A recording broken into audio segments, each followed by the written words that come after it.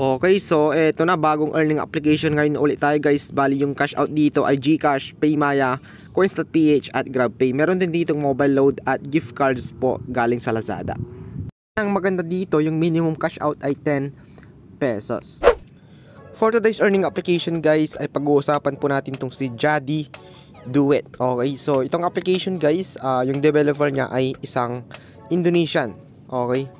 So, itong mga um, ano dito guys, salita, pwede nyo po siyang i-translate. So, meron kayong makikita dito sa baba.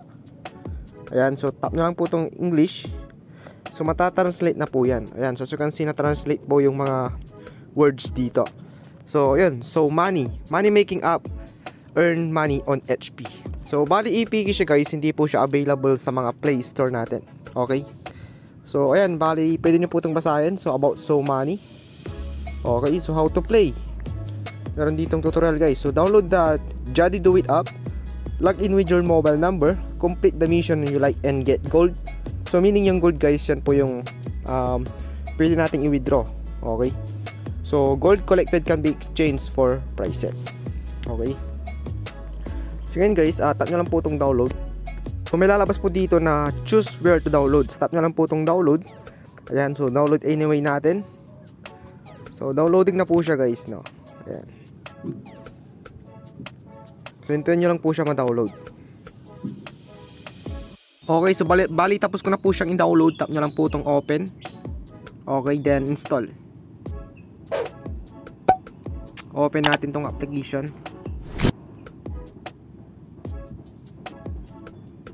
So, funny box yung pangalan dito, no? Open natin.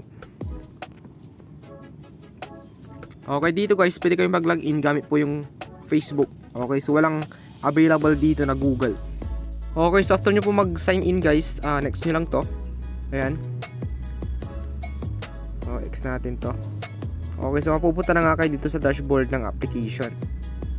Ayan, so nagbibigay siya dito ng tutorial. Okay, so meron dito mga tasks guys na pwede nyong gawin. Ayan. Kunwari mag-install kayo ng Paymaya, Gcash, and yun, marami pa dito no. Like Shopee, okay, Hago, So itong mga to guys, application itong mga to no. So meron ditong high point, easy at more point. So dito sa more point, ayan, so medyo uh, mas mahirap siya. Okay? So kunwari itong Candy Crush Saga. So install nyo po yung application na yon, complete level 21. Then yun, pwede kayong makakuha ng 75 points. Okay? So i-click nyo lang po itong 75 na nandito. Ayan, so mapupunta kayo dun sa parang APK ulit na application. So, ayan, i-install nyo po yun. So, balik tayo doon. Ayan. So, marami pa dito, no? Ayan. Like, brain test. Okay. So, pakita ko sa inyo guys, no? Kunwari itong Candy Crush Saga.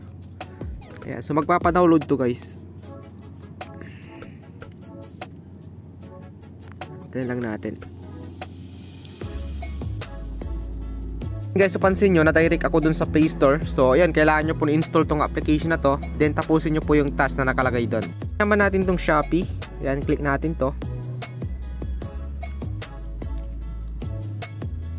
So, okay, wala pa siyang task na nakalagay dito, guys. So, hanap tayo ng iba. Kunwari itong Mobile Legends, no? Ayan, click natin to. Okay. So, ito yung task sa Mobile Legends, no? So, sus susundin nyo lang to, no? Download and install. Okay. So, ida-download nyo daw yung Mobile Legends. Pero kailangan guys, syempre, wala, wala pa kayong Mobile Legends na application. Okay, so tap nyo lang po itong Go70. So, mapupunta na nga kayo dun sa Play Store. Ayan, so na-direct po siya sa Play Store. So, pagkatapos nyo po install yan, balik kayo ulit dun. Okay. So, sabi dito sa pangalawa, open up on the next day. So, sa bukas siguro, i-open nyo po yung application. Then, sa pangatlo, um, basta ganun lang no? I-open nyo lang po yung application na Mobile Legends. Hanggang sa 5th day ay i-open nyo lang po siya. Okay so ayun bali yung total guys na pwede nyong makuha dito sa task na to ay 450 points. Okay? So ayun bali share it. Okay marami pa dito. Cash him all Unacash so maraming task na pwedeng nyong gawin dito sa application na to. Okay hindi kayo dito mauubusan guys kasi everyday um, nagre-refresh to so nadadagdagan to araw-araw so more point guys uh, mas marami din kayong ma-withdraw dito sa application And siya nga pala guys, dito sa application na to, pwede kayong mag-sign in araw-araw. Then meron kayong makukuhang points. So punta kayo dito sa activity. And then, daily check-in. Okay? So ayan, tap nyo lang po yan. So hanggang sa 7 days, 7 days guys, mas malaki yung pwedeng makuha. Ah, so hindi pala guys no. So kailangan nyo mag-sign in araw-araw para makuha nyo po yung hanggang sa day 7 yung nakalagay dito. So please complete one task within 7 days above. Okay? So, ayan, bali pwede din kayo dito manood ng ads. Pwede kayo makakuha ng plus 5 points. Ayan, so tap nyo lang po to guys. So, pwede kayo dyan makakuha ng plus 5 points. So, ngayon, pag-usapan naman natin yung sa withdrawal. Okay, so punta kayo dito sa exchange. Ayan. So, currently guys, meron ako ditong points na 93. So, madami na akong points dito dati kasi uh, yun, matagal ko nang ginagamit itong application na to. Pero dahil nga sa uh, inactivity or hindi ko pag-open ng application. So, yun, bali nabawasan, no? nawala yung lahat ng ipon ko dito na points. So, sa payment method guys, meron ditong GCash, Coins.ph, GrabPay, PayMaya. So, sa recharge naman, syempre, mobile load to. Okay. Gift cards, so meron ditong 7-Eleven, um, Zalora, at marami pang iba. So, meron ditong view all guys, no? Yan, view all natin. Okay. So, ito yung mga available dito guys sa withdrawal. So, sa GCash, bali 20 pesos. Okay. Merong 25 pesos din. 10 pesos. Okay. So, ayun. Bali yung pinakamalaki ay 100 pesos. Meron din palang 50 pesos, no? So, ayun guys. Um, yun yung mga payment method. Pero, mas maganda talaga sa Gcash. Gcash po yung gamitin nyo. Okay. So, kung kailangan nyo naman ng load, punta kayo dito sa recharge. Ayan. Ito po yung mga available dito. So, yung mga network like Globe. Ayan. TNT.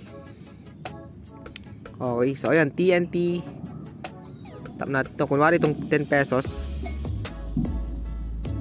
okay so walang nakalagay dito na ano um, tawag doon yung network so siguro kayo na lang bahala mag try no dito sa mobile load dito naman guys sa gift cards so kung gusto niyo bumili sa Laza, um, sa 7-Eleven ganun ayan so meron ditong 7-Eleven Zalora Silverworks at Chris Sport. Ayan so sa 7-Eleven guys uh, ah, 100 pesos po yung pwede nyo makuwang gift cards. Okay so yan po yung mga payment method dito and with uh, minimum. Ito naman pala guys pag invite dito sa application na to kung magkano yung pwede nyo makuwang points. Once na nag-invite nga kayo ng mga friends nyo so punta lang kayo dito sa invite dito sa baba okay So sabi niya dito, get 200 points from every new user you invite. Okay, and get a 20% commission on all earnings from the dem as well. So every points guys na na-earn nila, syempre kapag nagtatas yung na-invite nyo, 20% po yung mapupunta sa inyo. Pero pagka uh, download pa lang ng application, pwede kayo agad makakuha ng 200 points doon. Okay? So ito po yung sariling code nyo. And then copy code nyo lang. Then share nyo nga sa mga friends nyo. Then, mas maganda dito guys, gamitin nyo na lang link para hindi na sila maglagay ng code. Automatic na yon no? Tap nyo lang po itong share button dito. Okay, so ayan, bali share nyo lang sa mga friends nyo like Facebook, Messenger, and kayo bala kung anong um, social media yung gusto nyong pang gamitin pang invite. So, lastly, yung tanong dito, legit pa tong application na to guys? Syempre, legit na legit to, no? Nakapag cash out na yung mga kakilala ko dito na yun gumagamit sa application na to. Uh, nakaka na sila dito no? Legit na legit tong application na to guys. So yun bali sinubukan din nila tong 10 pesos dito. Saan na yung 10 pesos so ito siya guys 10 pesos. So ayun na-receive nila agad no?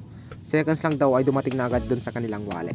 Okay, so siguro nat natakal ko na lahat ng kailangan yung malamang information dito sa application na to. And kung nagugulan pa kayo, meron pa kayong katanungan, uh, feel free na mag-comment dyan sa baba. Sasagutin ko mo yung mga question nyo isa-isa. Okay? And siya nga pala guys, uh, huwag nyo kalimutang sumali dun sa ating giveaway na 500 pesos Gcash. So ang kailangan nyo lang gawin, i-like nyo lang tong video na to, i-share nyo sa mga friends nyo, and also subscribe na din dito sa aking YouTube channel. Okay? So ayun, bali dito ko lang siguro tatapusin yung ating video ngayon. I hope na gusto nyo po itong earning application na na topic natin sa video na to. Okay? So once again, this is Jay Gaduar and I will see you guys on my next video. Peace out.